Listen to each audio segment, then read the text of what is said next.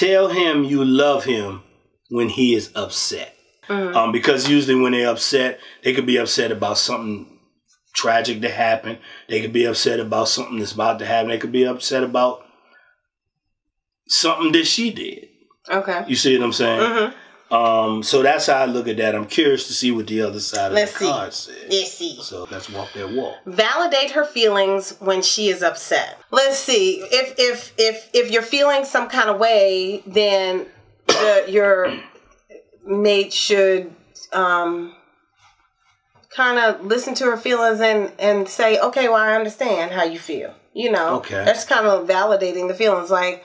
I can understand how you would feel that way, or something like that. Like that's the kind of dialogue that you give me when I'm upset about something. I'm expressing to you how I feel about something. Mm-hmm. So that's what you know, men. That's what the women want from you for you to be on their side. What you what you just said is basically what I said on the other side. Right. She validating her is basically saying, "I got you, shorty. Right. You know, I got you. I'm I'm I'm I'm with you. I know you feel this way, and I'm with the way you feel." Exactly. All right. Okay, everybody. Validate her feelings Yeah. by listening, by commenting, by not changing the subject Right. in the middle of her expressing herself.